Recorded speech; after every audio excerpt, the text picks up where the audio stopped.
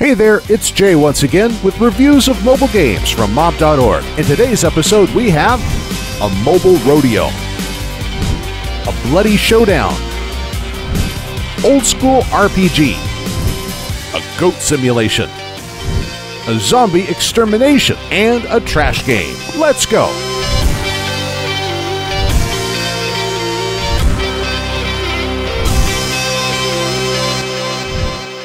If you're a real man with steel balls, then PBR Raging Bulls is the one for you. Try to stay on the bull for as long as possible by tapping on the screen in time. You have 14 riders and a bunch of bulls, ranging from standard bulls to teleporting ones. Payback 2 is, in a way, the heir of the first GTA games.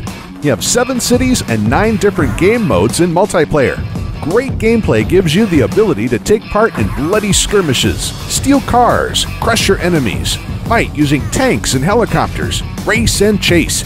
You'll definitely have some fun times with your friends. Hail to the King, Deathbat is a typical RPG about chaos and destruction on Earth. Evil demons, undead hordes, vengeance, and purpose. But it has something old school and appealing. And it's not just about 2000 era graphics. The game has an elaborate story, a variety of enemies and loot, memorable bosses, puzzles, and tons of deadly traps. The most idiotic, irrational, crazy, but still everyone's favorite goat simulator is now out on mobile devices. Control a goat and plan to take out everything that gets in your way. Get hit by cars, ram trains, attack people, and get as many points as you can to get high score. If you're still not bored with killing zombies, you'd be a great member of an elite unit fighting this deadly epidemic. In Zombie Objective, you have to protect victims, both civilians and soldiers, gather necessary supplies, provide sniper support, and above all, kill those accursed monsters. The game has 7 territories, 7 game modes, 12 types of zombies, more than 20 types of guns, and more. And now let's look at our trash. I understand the Turks are real tough guys, but making a game about an unser and a long haired beauty imprisoned in a tower and calling it Rope Unser is a bit strange.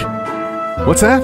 You don't know what an unser is? Well, it's a bald man in trunks, white socks, and leather shoes. And most importantly, a big, beautiful mustache.